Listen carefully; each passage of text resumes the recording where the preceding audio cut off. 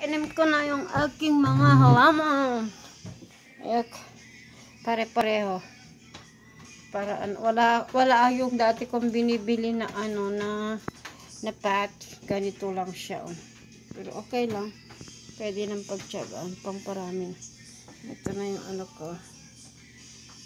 Hmm. Yan. Ang ganda na ng aking halaman. Hindi ko tinapon yung mga ganito niya yung tag na nilagay ko pa rin. Para ah, pag magpaparami kasi ako ng mga halaman. Kasi magpapatayo kami ng ano, ng greenhouse ko. Kaya bawat binibili ko, hindi ko pa siya tinatapon. Iniipon ko pa rin yung mga ganito. Para, um, ano, makabisado ko yung mga pangalan. Kasi, soon magbi-business ako ng mga kaya ako kaya kami magpapatay ng greenhouse kasi magbi-business ako ng flowers. Kaya iniipin ko pa rin yung mga pangalan ng ganito niya. Kaya nagpaparami ako ng mga halaman ko. Ah, 'di ba? Ito kinat ko ito sa may ano ko sa may jade ko. Tignan niyo oh, look, ang laki na. Nabubuhay na. Ito, ito ang price niyan. Pag binenta mo, 3.98 dollars. Ganito lang siya kalaki. Mm. Yeah.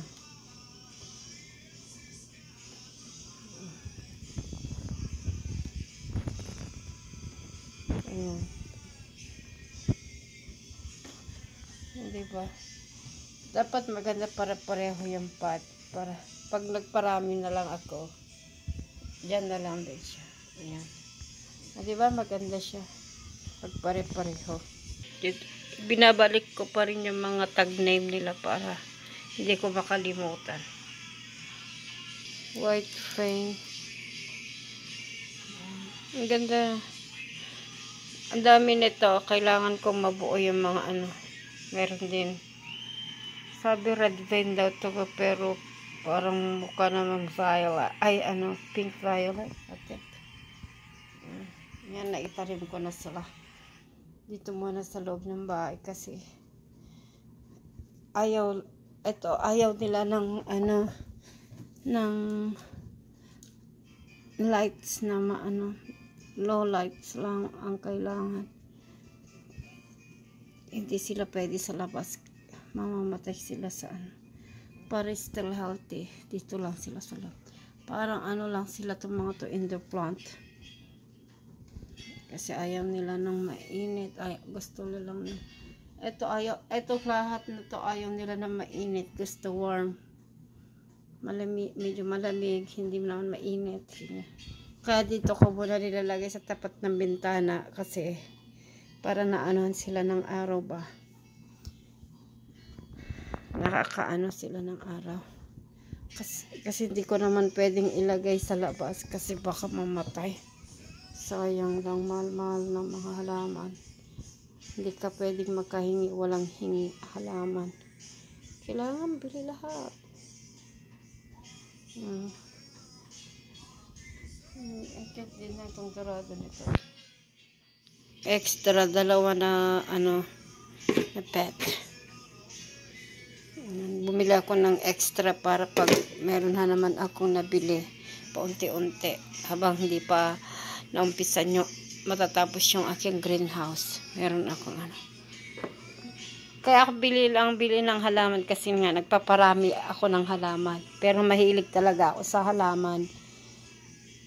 Kailangan ko magparami ng halaman kasi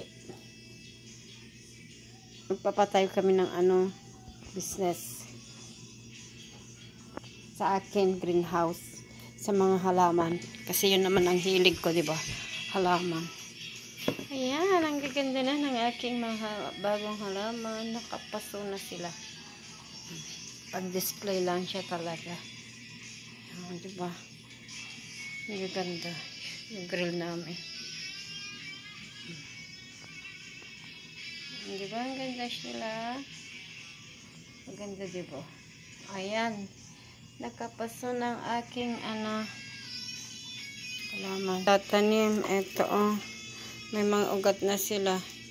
O yan. Ito yung ano ko sa yucca cane ko naman nagkatako. Pinag-grow ko sila. Ito na siya oh. Healthy na, healthy na. Ito na. Kailangan kong itanim na rin. Pero palakihin ko pa konti yung mga ugat. Mm. Ayan. Mm. Para maganda sila. Kailangan ko na mas malaki na ano pasto pala. Hindi dito kasi. Ayan. Ma mala madilim. Naparami ko na to oh.